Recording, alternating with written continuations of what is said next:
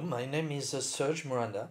I'm full-time professor of computer science at University of Nice and also science director at Estia, the School of Engineering in the Basque Country in the southwest of France.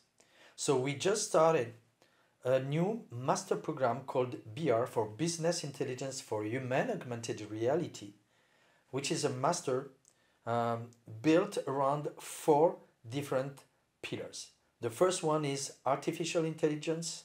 Second is um, um, cloud programming and cybersecurity. Third is big data management. And the fourth is mobile programming. So this represent to the support, computing support to the data-driven economy in which we enter. And that's also important to note that from a science point of view, Jim Gray, when he received his um, Turing Award, Nobel Prize in Computing, said we enter the fourth paradigm of science today, which is the science of data. Talking about science is very interesting because you're talking first about concepts, second methods, and third tools. In order to build the master program, that's what we follow. Concepts and methods come from university and academy, and uh, tools come from industry. And from the very beginning, we have Oracle as a key industry partner. Therefore, our master program is highly professional. 50% of the courses of the tools are provided by Oracle, and then the academic course. And we built an international networking around this.